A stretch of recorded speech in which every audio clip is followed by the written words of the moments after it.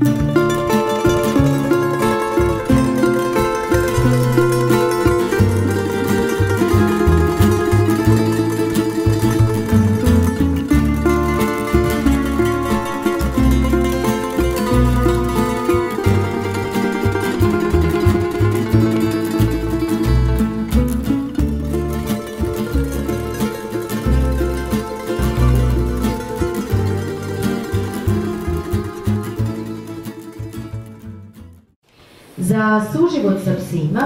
je da razumemo psihologiju pasa i savladamo tehnike, bilo da su oni radni psi ili kućni ljubimci. Zbog toga je večera sa nama humani dreser Slaven Steverić iz udruženja Moj pas.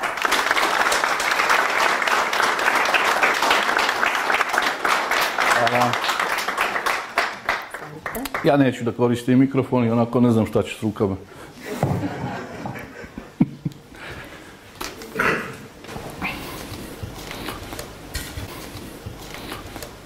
Dobro večer prvo svima, hvala što ste došli.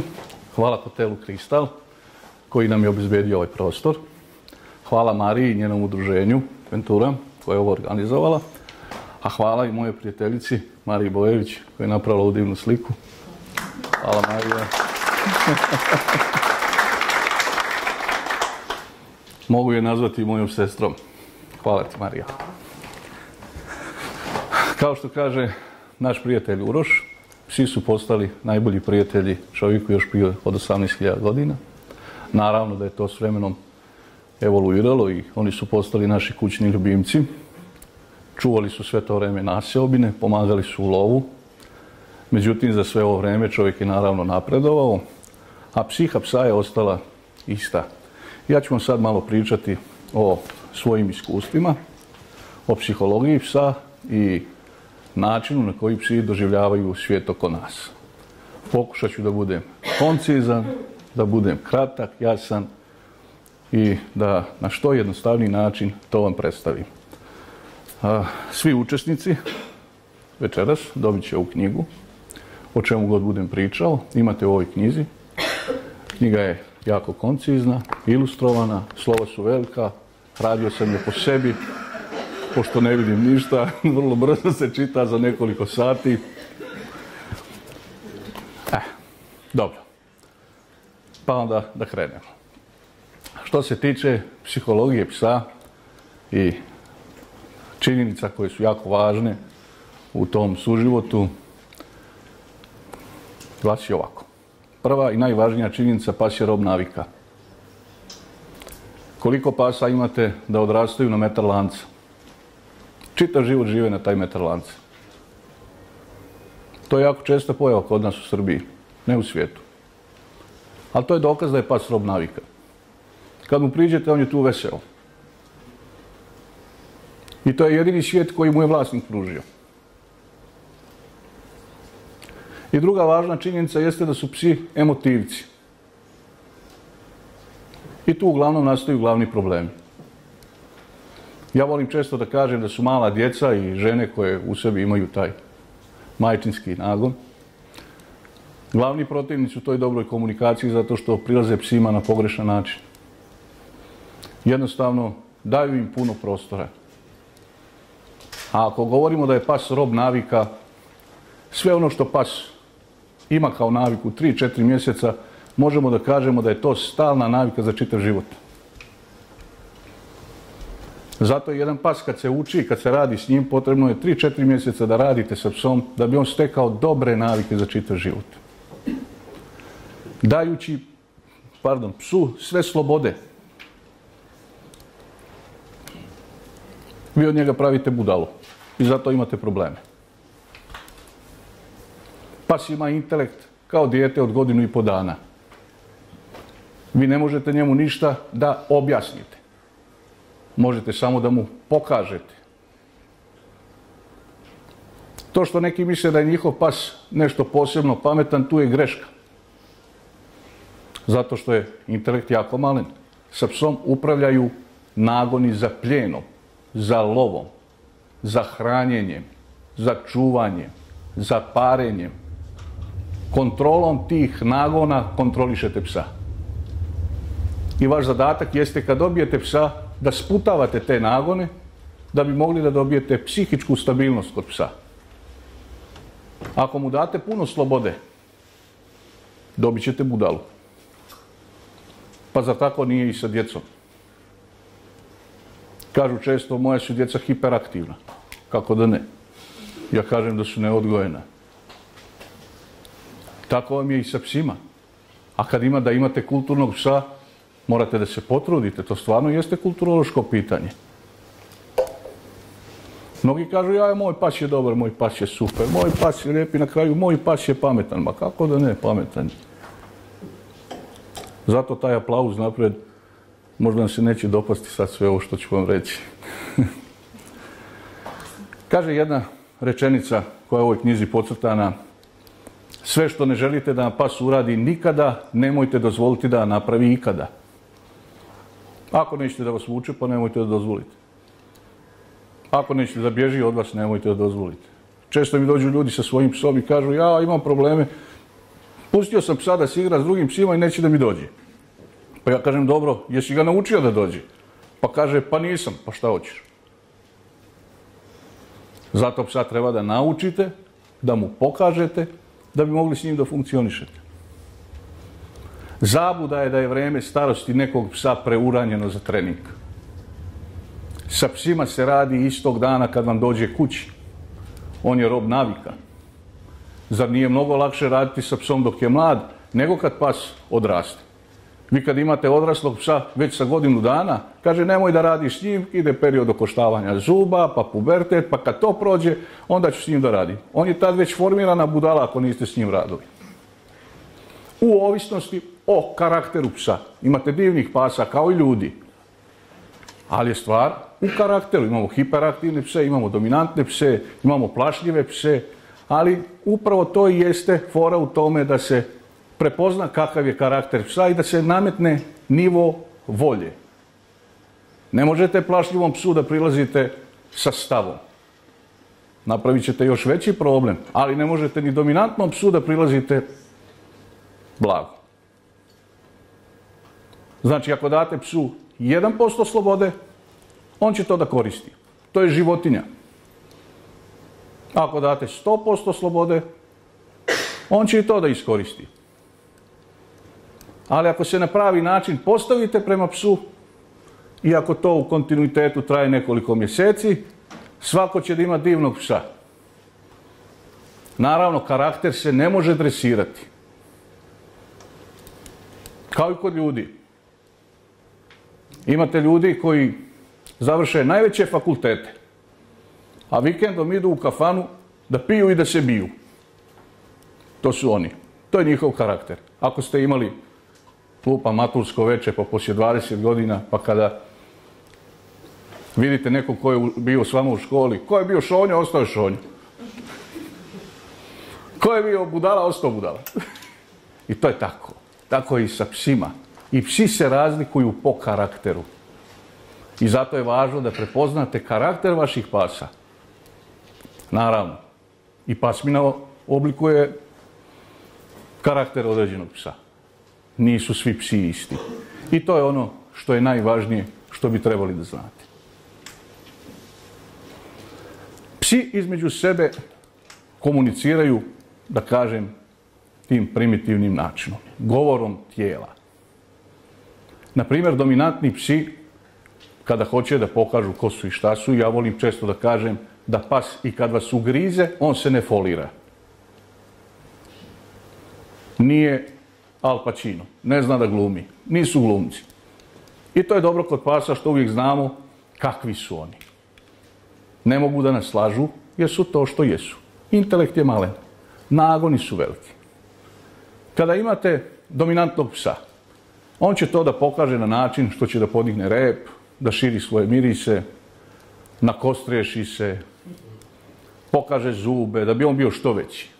Čak će u igri gledati da one pse koji nisu dominantni da ih šapom spusti dolje. A oni psi koji nisu dominantni, oni će gledati da budu što manji. Da legnu, da uriniraju, da se sakriju, da podvuku rep i tako dalje.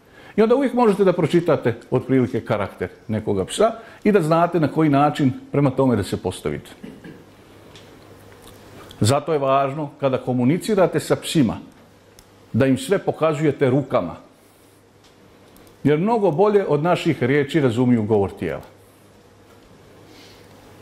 Nekada ljudi dođu kažu, jao, pas je osjetio nekog čovjeka, to je loš čovjek, pa laje na njega i tako. Nije osjetio. Pas to vidi. Kao što su majstori za skidanje gestikulacije našeg tijela, tako su majstori za skidanje mimike našeg lica. Imate psa, na primjer, u kući. Pas ima kratko pamćenje, 70 sekundi. Znači glup je. To su primarna pamćenja. Sekundarna pamćenja su dugačka. Stresne situacije, dobre situacije, vaš miris, boja glasa, zvuk automobila, mjesto življenja, to pamte dugo. Međutim, primarna pamćenja su kratka, 70 sekundi. I sad dođete kući, pas je nešto napravio. I vi počnete da vičete na njega. I on pokunji uši, tu, tu, tu, izbriše. A, vidi, zna šta je napravio. Ne zna. Na vašem je licu vidio da nešto nije u redu. Oni tako komuniciraju. Kako da zapamti nešto ako pamti 70 sekundi? Znači da je glup. Ali jeste emotivac. I voli da nam priđe. Voli da se mazi. I tu nastaju greške. Jer vi mislite, jao, kako je prišao, mazi se sa mnom, ba, ba, ba, A on to počne da koristi. I onda mu date slobode. Kako se daju slobode psu? Evo, dobijete psa, uvedete ga u dvorište, date mu kućicu, date mu posudu sa hranom, vodom, i date mu dvorište, date mu prostor. I to je njegov prostor. I pas kreće da razvija samovolju.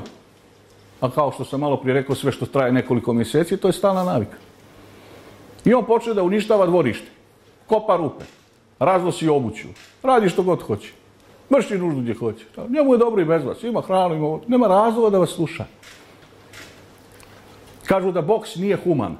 Pa naravno da boks nije human, ali to nije mjesto življenja psa.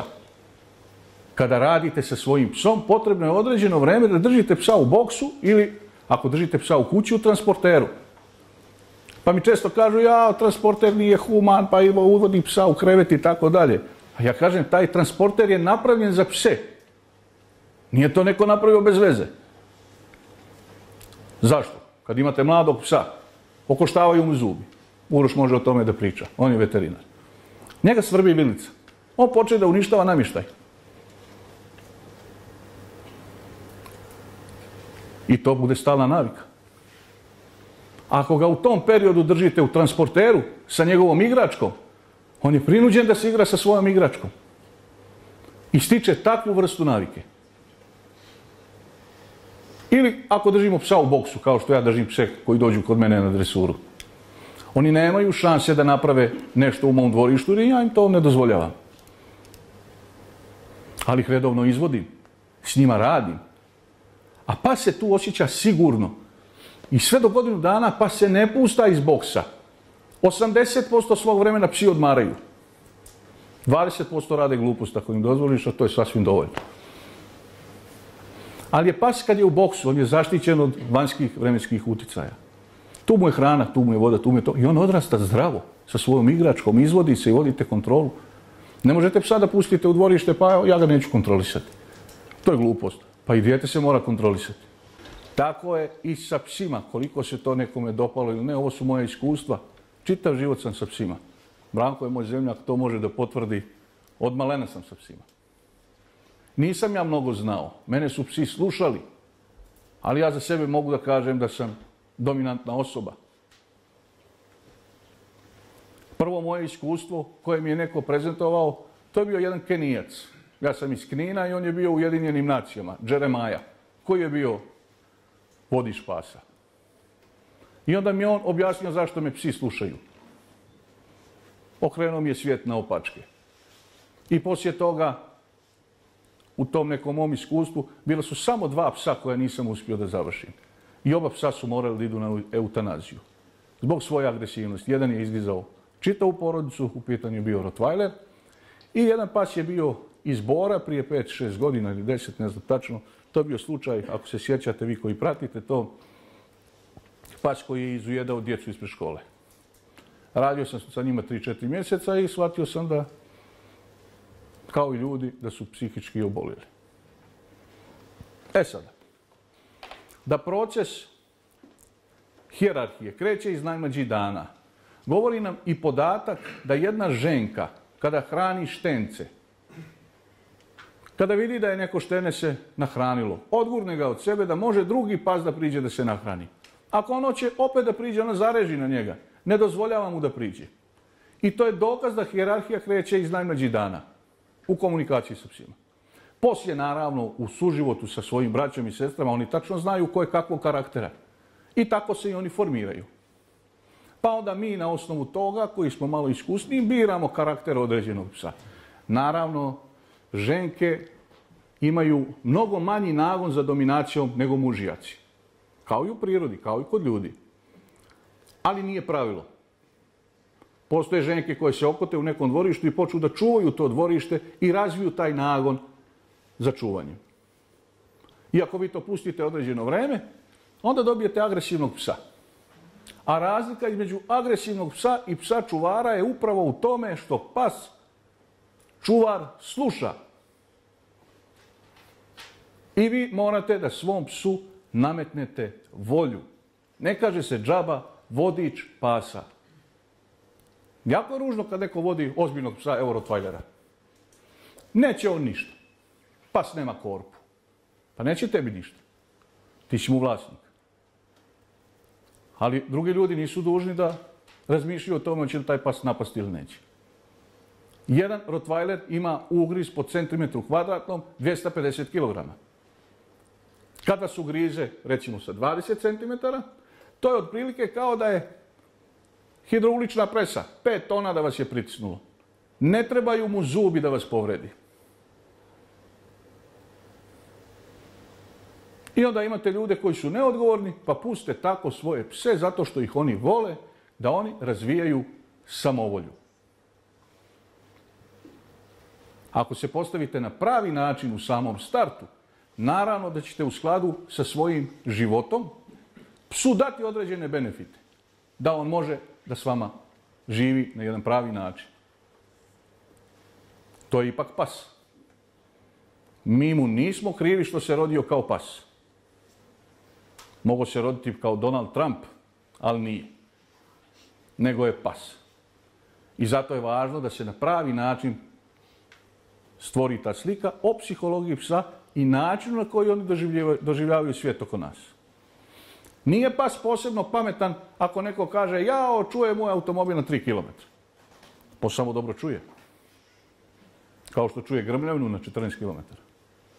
Očiti vlasnika na 500 metara. Znači da ima dobar njuh. Ako se ne, varam, uroše receptori u glavi su 40 puta veći nego kod čovjeka. Po pitanju njuha. Znači nije pametan, nego dobro čuje, ima dobar njuh. Zato i jeste pomagao čovjeku u lovu i u čuvanju naseobina. Da bi shvatili na pravi način šta je pas. E sada, mnogi psi, kad naročito mali psi, maltezeri, francuski buldozi i tako dalje, ljudi ih doživljavaju, to su mali psi, pa ga nosi u njedrima, pa ide sa mnom u krevet, pa ide tako. Vi ne znate šta držite u njedrima. Psihologija je ista. Ali šta ako imate tog malog psa koji je karakteran, koji hoće da bude vođa? I onda dobijete malog psa koji je agresivan. Pa se čudi, naravno pekinezeri, kompleksaži. Oni grizu na prvu. Ali isto je tako i sa psima sa jakim nagonima. Stafford. Pas koji je pomagao u lovu na divlje svinje i medvjede. Generalno, to su divni psi prema ljudima. Generalno. Ali, ako mu dozvolite da razvija tu samovolju, on je lovac. I pustite takvog psa Stafforda, on je divan pas, on je krasan, to moja beba, a svaki mjesec dana imate na mjestima kako je pas nekog izujedao, kako je pas nekoga ubio i tako dalje. I onda se pitate zašto je to tako. Pa ja ću vam reći zato što je neodgovorno vlasništvo. Pa nije on jadni kriv. Pas je pas, on je to što jeste. A smo mi ti koji smo dozvolili da to pas radi. Ja trenutno imam problem sa mojim komšijom koji ima belgijskog ovčara. Dva puta je napadao moju djecu dok je bio mlad. Kad sam otišao da reagujem, pas mi izujedao, povukao me za nogavicu, ženka belgijskog ovčara. Prije nekoliko dana napala je mene i suprugu, ujutro idemo malo u šetnju. Ko belgijski ovčar? Belgijski ovčar, malino. Da. A onda kad sam ga prijavio komunalnoj policiji, onda su me blatili, mjesto da dođu da mi se izvinu. Primjer radi. Znači to govori o neodgovornom vlasništvu. I to govori o nivou kulture koje mi razvijamo sa psima. Ako shvatimo to na pravi način, da jedan pas može da bude kao repetiran pištolj, onda ćemo se na pravi način i postaviti. Opet, ja kad pričam o psima, pričam o dominantnim psima, da bi me na najbolji način shvatili, nisu svi psi isti. Imate i psi koji su umiljati čitav život, većina takvih. Ali šta ćemo s onim karakternim? Kako da rješavamo probleme? O tome želim da vam pričam. Kako da se postavite prema svome psu da bi na pravi način dominirali tako. Ja ovaj isti sistem koristim sa svojom taštom. Uspješan je ovako. Dobro. Šta je dresura psa? To je jedan organizovani proces gdje psu uvodimo nove navike. Šta je glavna fora u tome? Da nametnemo svoju volju. Da ne dozvolimo psu da on radi što on hoće. U ta tri, četiri mjeseca prva našeg suživota. Zašto se koristi, na primjer, kavez u kući? Pa, poslije 4-5 mjeseci, 3, 4, 5 mjeseci, kad sklopite taj kavez, pas po navici ide na mjesto gdje da spava. Također, imate psa u kući. Dosta ljudi ima problema sa vršenjem nužde u kući. A nagod za nuždu između ostalog javlja se na osnovu mirisa. Vi uvedete psa u kuću, date mu slobode da on ide gdje hoće, da spava gdje hoće i on počne da vrši nuždu po kući. Izvedete ga napolje, on neće da vrši nuždu. Ali kada uvedete u kuću, nagod za nuždu se javlja na osnovu mirisa. I on opet vrši nuždu u kući. I vi ste u problemu. Ali kad ga držite u kavezu, na kraju krajeva, ako se desi da vrši nuždu, u kavezu, pa lakše to oprati i očistiti, nego da tražite gdje je vršio nuždu. Ali kad držite psa u kavezu, 90% pasa ne vrši nuždu na onom mjestu gdje spava. I konstantno ako ga izvodite na livadicu, ne znam nije gdje, kada taj dio livade poprimi taj miris, on će naravno da vrši nuždu tu. I tako stiče novu pravu naviku. Tako je u svemu. Što god radite sa psom. Naravno da nećete psa držati čitav život u kavezu, niste takvi ljudi. Nećete ga držati na lancu. Ali ako se postavite na pravi način i ako na pravi način funkcionišete sa svojim psom, poslije nekoliko mjeseci imat ćete divnog psa. I naravno da ćete s njim moći da funkcionišete. Onda psa možete da učite i druge stvari, da mu stavljate korpu i tako dalje. Da ga učite da ide sa korpom. Jako je ružno kad vidim nekog da vodi ozbiljnog psa bez korpe. Ja koji se u pse pod navodnicima razumijem, meni je muka od toga kad to vidim. Zato što znam šta jedan pas može da napravi. Jedan doberman može za 10 sekundi da vam nanese 15 ugriza. Mom jednom prijatelju desilo se to da je izveo dobermana na izložbu. Pas koji je već imao nekoliko godina, koji je divan pas. Međutim, psu su porasli nagoni u tom momentu jer je vidio druge pse. I izujedao je svog vlasnika. Poslije nekoliko minuta kao da ništa nije bilo. Kad nagon naraste, faktor rasuđivanja je nula. Šta to znači? Bacate svom psu lopticu. Intelekt malen. Nagoni veliki. I vi pustite psa da trči za lopticom. Nagon naraste. I neko u tom momentu uzme tu lopticu. Imamo problem. Pas ga izuje da zbog te loptice. I vrati se kod svog vlasnika i maše repom kao da ništa nije bilo. Jer sad shvatate zašto volim da kažem da je pas glup. Ja ih volim, čitav život sam sa njima. Ali ovo je jedna istina. Sa psom upravljaju nagoni. Kontrolom nagona kontrolišemo psa. Mnogi ljudi misle kad imaju tako male pse, tako, ajde da ih socijalizujem pa ću ga pustiti da se igra sa drugim psima. Pa kad pustite malu djecu da se igraju, kad imate njih 5-6, pa za pola sata jedno dijete zaplače.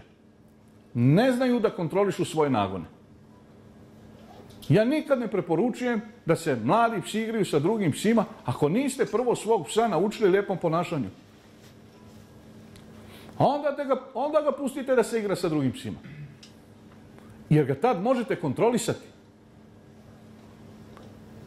Ne preporučujem da se otvaraju nagoni za pljenom, za lopticom. Vi krenete da sa svojim psom se igrate i bacate mu non stop lopticu. Poslije toga čitav život on samo juri lopti. I vi ste u problemu. A psi su lovci. Sve što se kreće, oni nagonski reaguju. Zato jure za biciklama, zato jure za automobilima, zato jure za lopticom, jure za ticama, za svim, jer se prerano otvori nagon za pljenu. Sve do godinu dana utičete samo na psihičku stabilnost svog psa. Kako da se lepo ponaša. S vremena na vreme ga i pustite sa drugim psima. Ali zato stavite jedan konopčić, ogrlicu, da u svakom momentu možete da reagujete. Ako se ružno pas ponaša, ako to traje više mjeseci, onda vi dobijete psa koji se lepo ponaša. I ja ću vam malo poslije pričati o tim vježbicama koje su usko vezane za psihologiju psa. Kako da nametnete svoju volju. Kao ja s taštom. Sve je isto. Dobro. Šta su u stvari te vježbice? Te vježbice traju 15-20 minuta. Ništa više. Naravno, osim vježbi, bitan je i taj opšti suživot između vlasnika i psa. Način kako da se postavite, da mu ne dajete mnogo slobode. Ali vježbe služe da se nametne volja. U stvari, to je ona igra koju vi kontrolišete. I one traju 15-20 minuta. Ništa više. Tolika je zainteresiranost psa za igru. A vi u stvari namećete svoju volju i učite svog psa da on čitavo vreme mora da vas sluša. Nije njegovo da razmišlja. On je glup. Pa ako on razmišlja, zgazit će ga auto. Zato opet kažem, ne kaže se džaba, vodič pasa. Nas se sve pita. Ova knjiga trebala je da se zove Mene se pita. Pa mi je supruga rekla, pa ko će to da ti uzme? ko će da zna da je to obuka pasa? Ja sam rekao, upravo si obuka pasa. Iza knjige piše, hvala budalama, jer da nema njih, ja ne bi ni znao da mi je najbolji prijatelj moj pas. Jer oni su iskreni. Nema foliranja. Kakav god da je pas, vi uvijek znate kakav je njegov karakter. E sada, šta su vježbe? Ja ću pokušati da vam objasnim jednu vježbu. Samo jednu. I na osnovu te vježbe pokušajte da shvatite način na koji ja komuniciram sa psima. Svi psi slušaju za 5 do 10 dana, bez obzira koliko su bezobrazni. Ni jedan pas ne zaslužuje batine. Samo želim da uzmem jednu ogrlicu da vam pokažem. To Srbine. Ali ovo je, ovo je, ovo nije, to je poklon. E, to je ova davilica. Opšivna koža.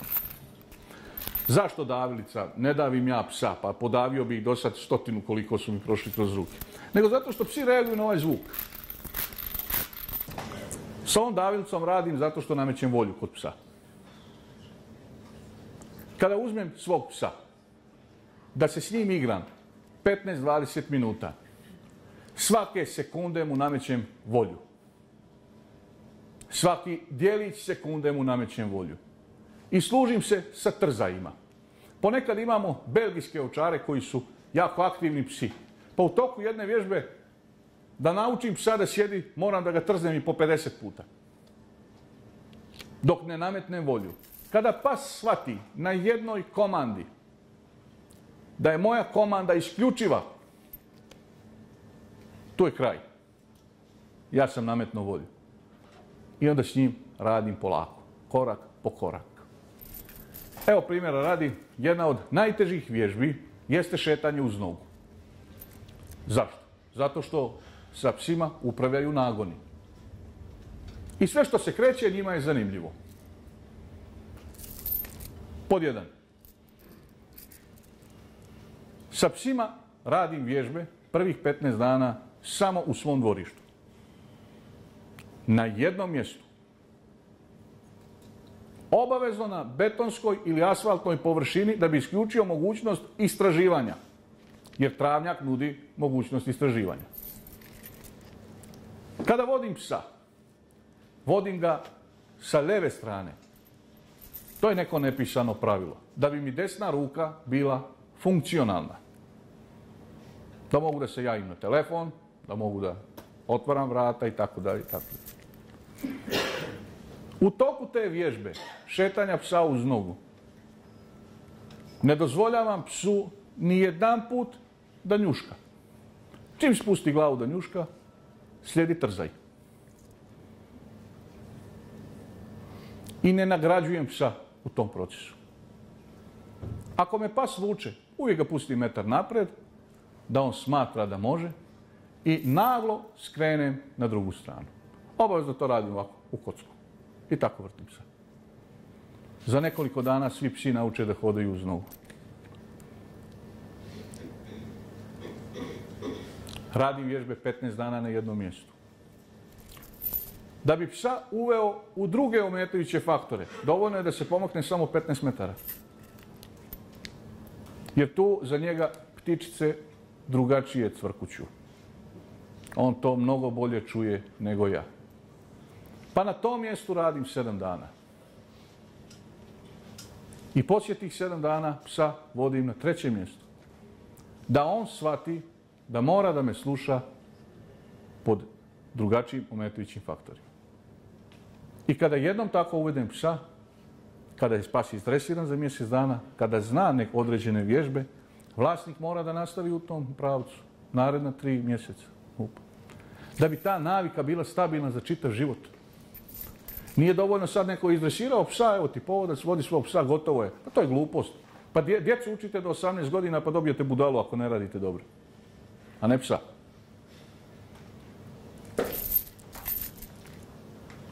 Znači, jedna vježba mora da bude tako tačna da svaki dijelić sekunde kontrolišete psa. Na primjer, komanda sjedi. Ja imam govornu gestikulaciju. To imate u knjizi. Sjedi, mjesto, dođi, pored, čekaj, ps, tako dalje. Sve pokazujem rukama. Mnogo bolje od naših riječi razumiju govor tijela. Najbolji su učitelji oni sa autoritetom. Ako mislite da ćete svoga psa naučiti, a non stopu se smješkate, nećete. To je poziv na igru. Zato što oni to vide. I tu su greške. Radite sa svojim psom na pravi način. Poslije ćete u skladu sa njegovim karakterom, sa, sa, tim kako je pas savladao vježbe, ne savladaju svi psi iste vježbe. Davati određene benefite psu i davat ćete mu slobode u skladu sa vašim životom, ali ne možete davati takve slobode da predstavlja opasnost nekome drugom ili da vam pravi štetu. Naprimjer, Labrador kaže divan pas, jeste divan je pas. Samo kad se izdresira. Nema veće štetočine od Labradora. Taj vam uništi dvorište za pet dana. Rottweileri, neviđene štetočine. Katastrofa. Ali to je sve zato što svog psa tome niste naučili. Postoje sada trikovi ako pas kopa rupe i tako dalje, onda stavljate izmet od psa u te rupe, pa oni neće to da rade. Ako jede svoj izmet, ako se i to desi, pa se renda sirova bundevina i tako, to su trikovi.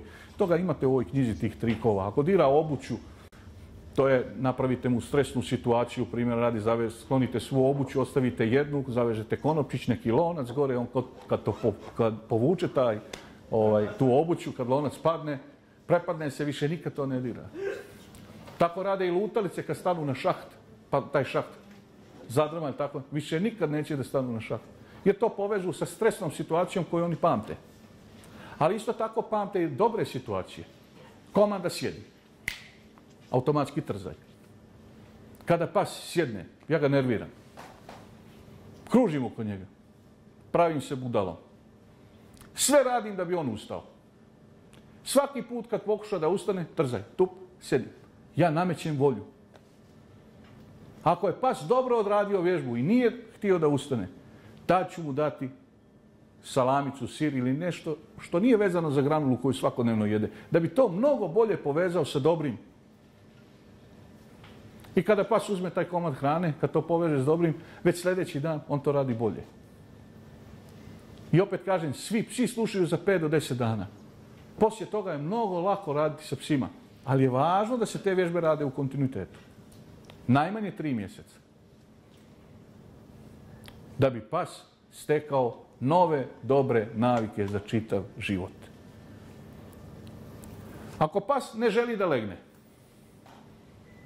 to znači da uspostavlja svoju volju. Ako pas skače po nama, uspostavlja svoju volju. Ako nas pas vuče, uspostavlja svoju volju. Sve ono što pas radi da bi bio prvi, bolji, veći, to je uspostavljanje dominacije. On radi ono što on hoće. I sad primjera, kažu ne postoji bolji prijatelj dominantnim psima od poda. Tjerajte ga da leži. Da se povinuje. Vi ste gazda, kako god vi to shvatili. Moja djeca od malena rade sa psima. I to im je prešlo u motoriku ponašanja. Oni se tako ponašaju i sa svojim prijateljima. Ne dozvoljavaju im da rade ono što oni neće. Ja tako komuniciram u svom životu. Imao sam prilike kroz svoj život da radim određene organizacije gdje sam vodio dosta ljudi. Nisam im davao prostora da rade ono što oni hoće. I to je uvijek bilo uspješno. Naravno, ima razlike. Ali ljudima se mora nametnuti volja kroz neke lepe načine. I tu postoji proces. Da bi stvorili dobrog radnika i zato vam je potreban proces. Da bi stvorili dobrog psa, zato vam je potreban proces. Znači, sve vježbice radim 15-20 minuta. Svaki dijelić sekunde ne dozvoljavam psu da radi ono što on hoće. Služim se sa trzajima zato što psi reaguju na zvuk ove ogrlice. Ova ogrlica imate da je kupite svugdje s ovim lancom. Ja sam namjerno napravio ovu kožu. Da se ne desi dok radim sa psom kad ga trznem da može da mu ošteti dlaku. I sve ovo što vam pričam na ovakav način, ne želim da vas uplašim i da kažete da ja nisam ljubitelj pasa. Ne, ja vam prenosim moja iskustva sa dominantnim psima. Pas je nastao od vuka. Imate vođu čopora. I njega se sve pita. Ako hoće neko da nametne njemu dominaciju, neki mlađi vuk, jači vuk, oni će to da riješe sa fizičkim obračunom. To je životinski svijet. Mi nemamo razloga da rješavamo situaciju sa svojim psom fizičkim obračunom, već nametanjem volje, ne sile, nego volje. Kad nametnete volju svom psu, onda nema nikakvih problema. Ako mu date sve slobode, onda ste u ozbiljnom problemu. I onda kažete zašto je moj pas ovakav, zašto je onakav.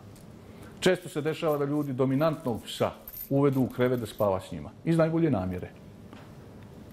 Ja kažem, 90% pasa neće reagovati. Njima je tu lijepo. Međutim, dominantan pas će to prepoznati kao svoj brlog. Pa će vas poslije nekoliko mjeseci izujedati u tom krevetu. To je njegov krevet. To je njegovo mjesto življenja. On je gazda toga. Njemu je tu dobro. Ali većina pasa neće. Da neko ne shvati da nema univerzalnih pravila. Nisu svi psi isti. Razlikuju se psi. Nekad dobijete psa s koji ne morate raditi ništa. Zato što je on uvijek oko vas, on je uminat, on je drag, on je lijep i tako dalje. Šta ćemo sa onim psima koji nisu takvi, koji prave probleme? Ajde što vama prave probleme u životu. Ali šta ako prave probleme vašim prijateljima, kad dođu kod vas kući. Komšijama. Pa laju od sumraka do svitanja. Pa kaže, on je pas, mora da laje, nije ovca, neće da bleji. Pa znam druže, ali laje čitavu noć, treba neko da spava. Ali to su ljudi sve dozvolili svojim psima da rade. Ja takav proces kad psi mnogo laju rješavam sa vodom. Meni svaki mjesec dođe deset novih pasa. I svi laju kao nenormalno. Ja upalim crevo na vodu, idem i prskam. Svi bježe u kućicu i samo mir i prskam. Sljedeći dan kad kaže mir, oni kao evo budale s vodom i šute. Ali tako namećem volju. Kad imate psa kući koji mnogo laje, kad neko zvoni i tako dalje, pa poprskajte ga vodom. Dajte, to je gore nego da ste udarili lopatom. Psi vole da se kupaju, ne vole da se prskaju. Pa nametnite volju. Pa ne može da laje. Ne može da skače po gostima. Ne može da skače po nikome, ni po meni. To je uspostavljanje dominacije, na kraju krajeva za prljačine. Ne dam to. Ne dam da me vuče. Ne dam da skače po meni. Ne dam ništa. Uspostavljam volju. Za deset dana svi moraju da slušaju, to je stav. A poslije toga je lako, poslije toga se igrate sa svojim psom. Dajete mu određene stvari, ali on zna gdje mu je mjesto. Zar nisu naši preci tako funkcionisali sa porodicom? Imali smo mnogo bolje i jače karaktere nego što imamo danas. Zato što su kontrolisali svoju porodicu. Nisu mogla djeca da sjede sa odraslima dok se priča o ozbiljnim stvarima. Dođu mi tako ljudi isto na tako te kurseve. Pričam s njima o psima i da dovedu djecu. I mi sjedemo tako u jedan prostor, ja ih dočekam. Ja to zovem teretana kafana. Tu imaju neki tegova i svega što radi zbog kičme, zbog zdravlja i tako. I onda djeca počnu da skaču tu, da divljaju i tako dalje. I oni se izvinu kao moja su djeca hiperaktivna. Ja gledam kako će djeca da se povrede. Došli su kod mene u goste, očekujem djeca da budu mirna. Međutim, djeca su klasični divljaci. Ja kažem, dobro, nema nikakvih problema, mogu li samo nešto da pokušam, može.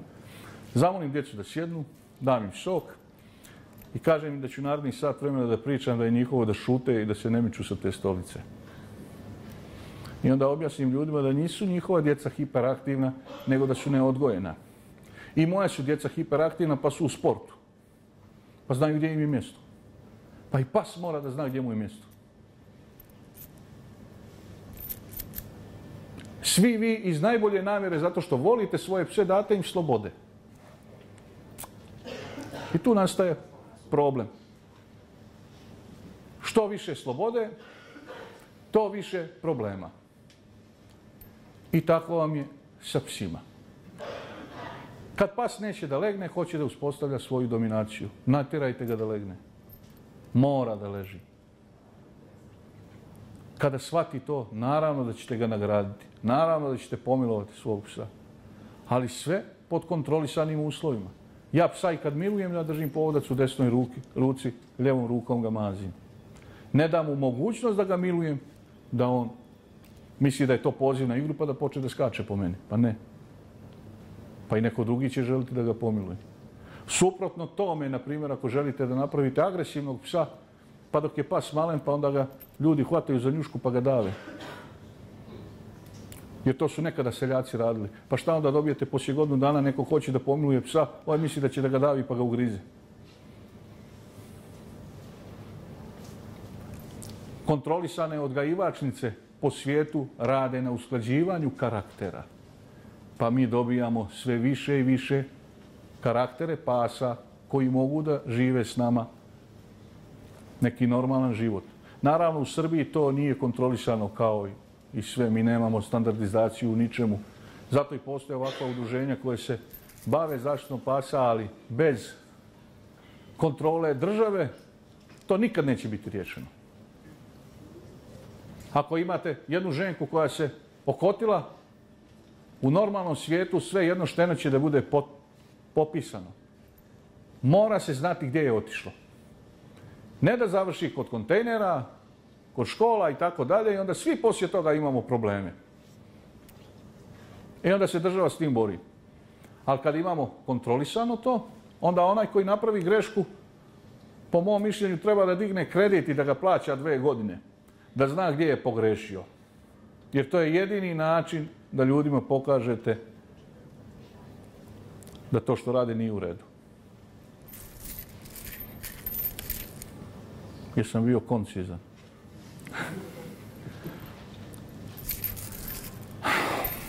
Dobro. Znači, da absolviramo čitavu temu. Pas je glup. S njim upravljaju nagoni za pljenom. Kontrolom tih nagona kontrolišete psa. Nećete imati psa ako mu date mnogo sloboda. Imat ćete budalu od psa. A to nije nikomu u interesu. Nije u interesu ni psu, nije u interesu ni vama.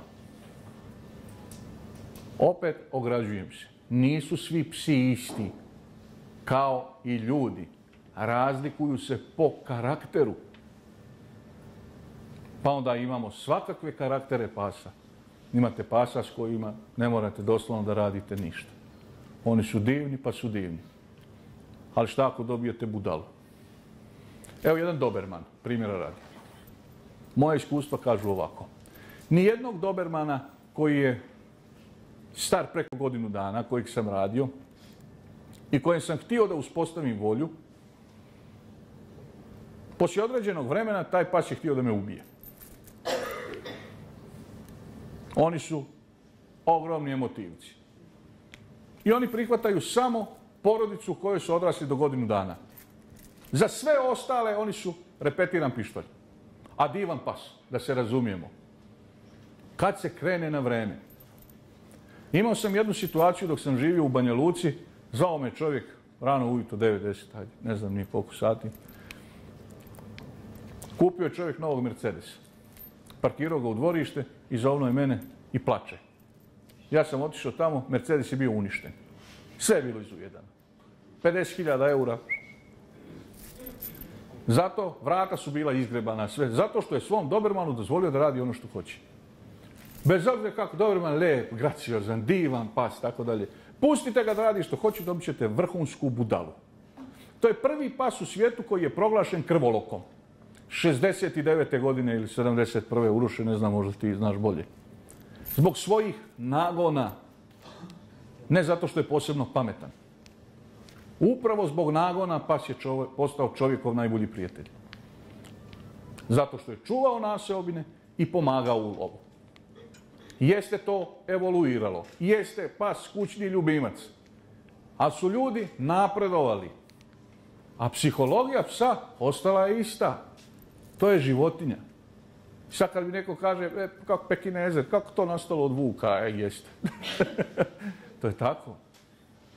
Ali baš su, baš su problem, najveći problem jesu mali psi. Nekako čovjek kad ima te veće pse, onda im je više posvećen, pa onda hoće više da sazna o njima kako da ih kontroliše. A male pse pustite, ho, ho, ho, ho, ho, ho, onda dobijete vrhunske probleme. Ne znate poslije šta ćete s njima. Najbolji period učenja psa jeste od četvrtog do šestog mjeseca. Ne kažem, radio sam pse koji su stariji 4-5 godina i oni nauče. Ali psihička stabilnost nikad nije dobra kao kad krenete na vreme. Imate psa koje su prerano izvučeni iz legla. Prije dva mjeseca. I baš zato što je on malen, što je takav, ljudi ga prihvate tako i uhvate se jakog karaktera. I onda dobijete psa koji je psihički neuravnotežen. Jer nije shvatio da postoji proces hijerarhije. Razvio je samovolju. I sve je u tome. O vježbicama imate u knjizi. Imate i stranicu Moj pas, kako radim te vježbice. Imate i kontakt, imate mailove. Kakve god probleme da imate sa svojim psom, ja se trudim da svima odgovorim. Ne odgovaram na gluposti. Ali na normalna pitanja i ljudi koji imaju probleme sa svojim, svojim psima, ja svima odgovorim. I ja vam sad govorim kakva su moja iskustva. Bez obzira kako to neko prihvatio. Ali to vam je jedna realnost. Eto toliko. Hvala.